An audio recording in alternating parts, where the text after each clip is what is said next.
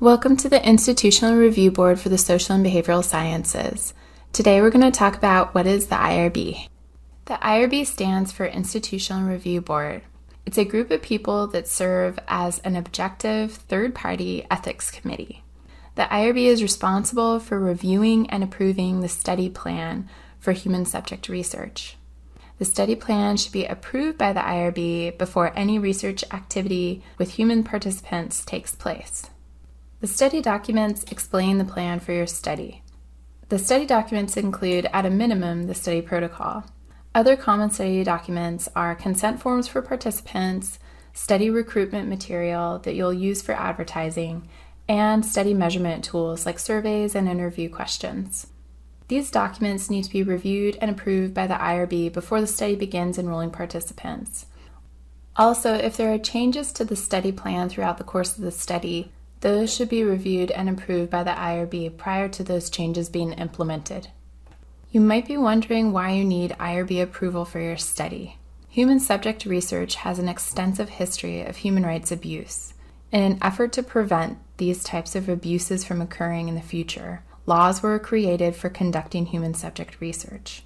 This includes a requirement for the IRB to review and approve the study plan before any research activity with human participants takes place.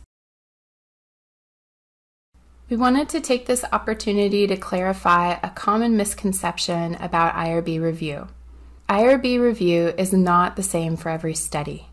The level of IRB review increases with the risk of the study. It's important to be aware of the type of review and approval your study has received from the IRB, since this affects your regulatory responsibilities as the PI for the study.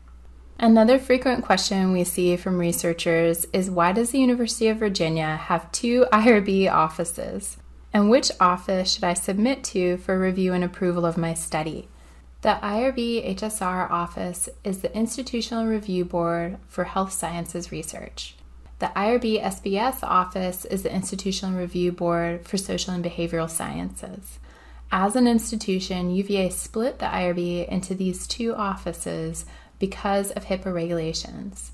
Both offices follow the federal regulations for human subject research, but the IRB HSR office also follows HIPAA regulations. Medically based and clinical trials should be submitted to the IRB HSR office for review and approval. Human research studies that are not regulated by HIPAA can be submitted to the IRB SBS for review and approval. Common research activities that are regulated by the two different offices are listed here as examples, but please reach out to us if you have any questions about your specific study.